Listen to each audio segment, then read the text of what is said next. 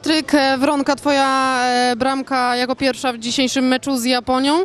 E, Nagroda napastnika turnieju jest chyba duża satysfakcja. No na pewno się cieszę, na pewno jest to dla mnie miłe przeżycie, ale tak jak mówię, no szkoda troszkę tego, że nie, awansowaliśmy, ale, ale mamy ten brąz, będziemy walczyć za rok, no i, no i naprawdę no, ta nagroda indywidualna mnie cieszy.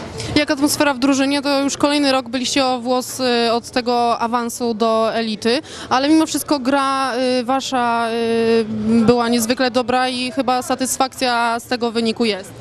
No jasne, nie, no myślę, że, że atmosfera w szatni jest super, tutaj e, każdy się wspiera, jesteśmy zżyci ze sobą i, i naprawdę atmosfera jest bardzo fajna. No, mam nadzieję, że już e, od dzisiaj będziemy myśleć powoli, co zrobić, żeby było lepiej na następny rok. Kończą się Mistrzostwa Świata. Jakie plany na teraz? Urlop? Myślisz już o kolejnym ciężkim e, sezonie?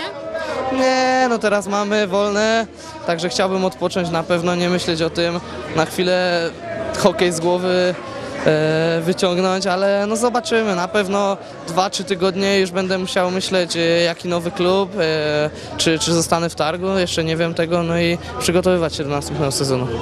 Patryk Wronka, dziękuję bardzo za rozmowę.